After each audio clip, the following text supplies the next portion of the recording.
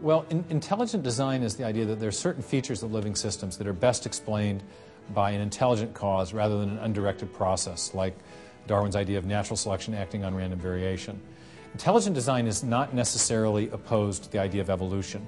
Evolution can mean several things. It can mean change over time, it can mean common ancestry, and it can mean that there was an undirected process that produced all the change that has occurred over time. And typically, the undirected process that's cited is natural selection acting on random mutations. Um, intelligent design is not challenging the idea of change over time, but it is challenging the idea that the change that has occurred over time is the result of purely undirected processes. And so, um, you know, intelligent design can be made compatible with certain definitions and, and ideas about evolution, but it is challenging the central idea of, of the neo Darwinian approach to evolution, which is that things look designed, but they're not really because a purely undirected process is responsible for that appearance. My theory of intelligent design, the one I've developed in the signature in the cell, is, is, is uh, um, challenging another theory of evolution, which also invokes only undirected mechanisms, and that's the theory of chemical evolution.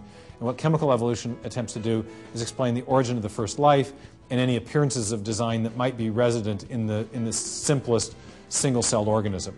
And I argue that, yes, there are uh, very impressive appearances of design inside the cell. The most impressive of all is the information-rich DNA molecule and the information processing system that's used in the cell to express that information. And I argue that uh, there are no undirected evolutionary processes that are sufficient to produce that based on what we know from having studied them. And yet there is a cause of that information rich system of which we know, and that cause is intelligence or mind. That there is a type of cause that we know can produce that key feature of, of life, and therefore um, that feature of life is best explained by intelligent design rather than an undirected process. So ID is not against evolution per se, but is against the idea of completely undirected evolution, an evolution that would deny the presence of actual design in living organisms as opposed to just the illusion of design, as Richard Dawkins and others would refer to it.